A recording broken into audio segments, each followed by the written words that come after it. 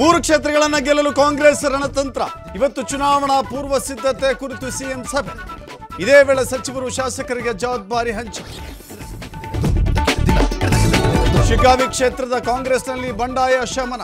ಹಿರಿಯ ನಾಯಕರ ಮಾತಿಗೆ ನಾಮಪತ್ರ ವಾಪಸ್ಗೆ ನಿರ್ಧಾರ. ಕಾಂಗ್ರೆಸ್ ಅಭ್ಯರ್ಥಿಯನ್ನ ಗೆಲ್ಲಿಸುವ ಜವಾಬ್ದಾರಿ ಹೊತ್ತ ಅಜಂಪೀರ್